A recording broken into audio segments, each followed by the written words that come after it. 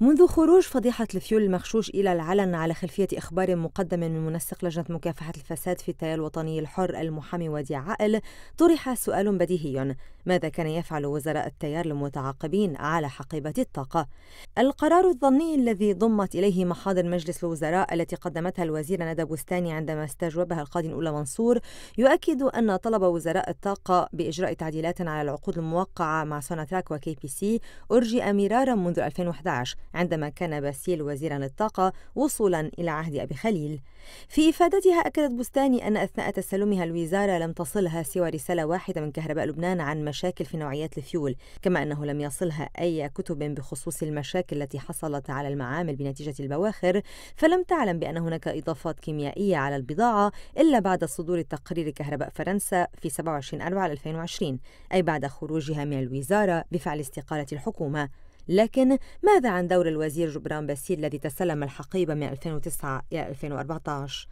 أبرزت بستان للقاضي منصور كتابا رقم 3656 مرفوعا في 2011 إلى الأمانة العامة لمجلس الوزراء من قبل باسيل يتضمن طلب التفاوض لإجراء تعديلات على العقود القائمة جزئيا أو بشكل شامل وإجراء عمليات استدراج عروض جديدة تشارك فيها الشركات المتعاقدة مع الدولة وشركات عالمية. مبينا إمكانية أن يؤدي إلى عقود بشروط أفضل للدولة اللبنانية بحسب التقييم كما طالب باسيل بتقييم بنود وشروط العقود الحالية مع الدولة الكويتية. ومع سوناتراك وقد أشار في طلبه إلى أن واقع العقود يتيح للبائع أن يتحكم في مسألة التسعير بما يتناسب مع مصلحته دون مراعاة مصلحة الشاري. في 2010-2011 وافق مجلس الوزراء على اقتراح وزير الطاقة أن يضاف إلى اللجنة المقترح تشكيلها مندوب برئاسة مجلس الوزراء للتفاوض والتحضير لإجراء مناقصات.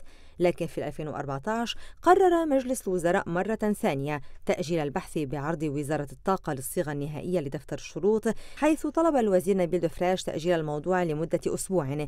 مرة ثالثة أرجأ مجلس الوزراء مجددا البحث بعرض الطاقة للسير بدفتر الشروط وذلك في 2015 كما أثبتته بستاني في محضر رقم 44 الذي أبرزته. تدخل دفراج مجددا طالبا تأجيل الموضوع لكون كتلة المستقبل لم تأخذ قرارها لغاية تاريخه. وفي العام نفسه تم تأجيل البحث مجددا وذلك موثق بالمحضر 45 حيث صرح دفراج عن تمسك الكتلة بموقفها سائلا لماذا الدخول بمسألة القطاع الخاص. في محضر جلسة لاحقة طلب دفراج مجددا عدم إدراج هذه العملية على جدول الأعمال إلا بعد الاتفاق بين من يؤيد الفكرة ومن يعارضها لأنه ربما يستطيع فريق أن يقنع الآخر. فصرح باسيل بأن هذا الموضوع أصبح مناقشا بكثرة متسائلا عما إذا كان لا يوجد إلا هاتين الشركتين ويجب التمديد لهما إلى الأبد.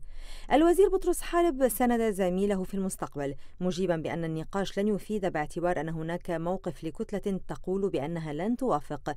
فقرر هذه المرة الرئيس تمام سلام تأجيل الموضوع لمزيد من الدرس.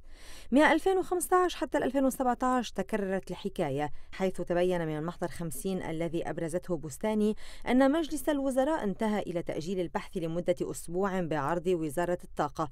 يومها كان سيزار أبي خليل وزيرا للطاقة في حين أوضح الوزير محمد فنيش الذي كان أول من وقع العقود كوزير للطاقة أن هذا الموضوع أشبع نقاشا. النقاش استحوذ أخذا وردا واستفسارات من قبل الوزراء يوسف فنيانوس وفنيش ومروان حميدي الذي طلب أعطائه مدة أسبوع للبحث في أسئلة لفنيش.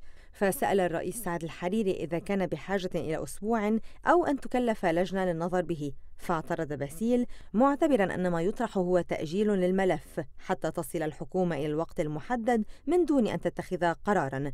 لكن رغم الطلبات المتكررة وإصرار وزراء الطاقة على إجراء مناقصة عاد مجلس الوزراء ووافق على تجديد العقود مع سوناتراك وكي بي سي في تشرين الثاني ل 2017 أي قبل شهر على انتهاء العقد علما أن العقد يلزم بإبلاغ الفريق الآخر بعدم نية التجديد قبل ثلاثة أشهر على الأقل. النقاش حصل يومها بين فنيانوس وأبي خليل فالأول اعتبر أن موضوع المناقصات سيحدث انقساما في الجلسة حول إدارة المناقصات أو غيرها. فأوضح أبي خليل بأن هيئة التشريع والاستشارات حسمت الجدل في 2005 فأضاف فينيانوس أنه يفضل تجديد العقد لأنه موقع على سنوات وأن الوقت لا يسمح بسلق الأمور حيث تدخل حميدة للذهاب إلى إدارة المناقصات. وفي المحضر عينه دون ما قاله باسيل حرفيا أن العقد مع سوناتراك أكبر فضيحة. وقد سجن الوزير ومدير سوناتراك كونهما قاما بأكبر سرقة بالتاريخ وتم سجنهما وتساءل باسيل من أين تأتي بضاعة الفيول إلى لبنان؟ في المحصلة أظهرت المحاضر التي أبرزتها الوزير بستاني ثابتتين أن اللجان هي بالفعل مقبرة للملفات التي لا يراد لها أن تبصر النور وأن طلب وزراء الطاقة بتعديل العقود كان يقاول على مدى السنوات بالتسويف والإرجاءات المتتالية لغاية في نفس يعقوب.